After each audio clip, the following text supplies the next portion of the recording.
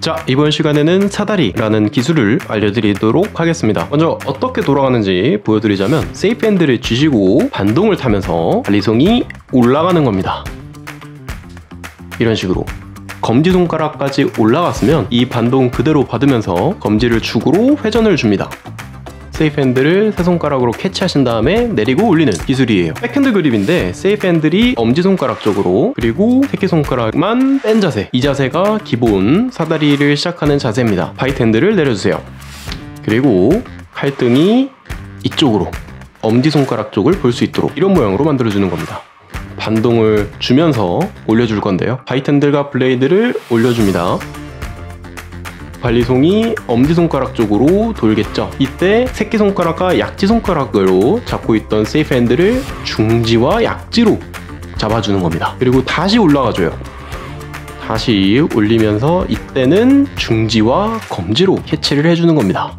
이런 식으로 반동을 타면서 올라가줘요. 반동 타는 힘 그대로 받으면서 검지손가락을 축으로 회전까지 주고 캐치하신 다음에 내리고 올리는 겁니다. 처음에는 새끼손가락만 뺀 자세에서 시작하면 잘 안 되실 거예요. 호라이즌탈을 한번 해준 자세 새끼손가락과 약지손가락으로만 잡은 자세에서 시작을 해보세요. 이 상태에서 반동을 주면서 검지손가락 위로 올려주는 거죠. 다시 반동을 줍니다.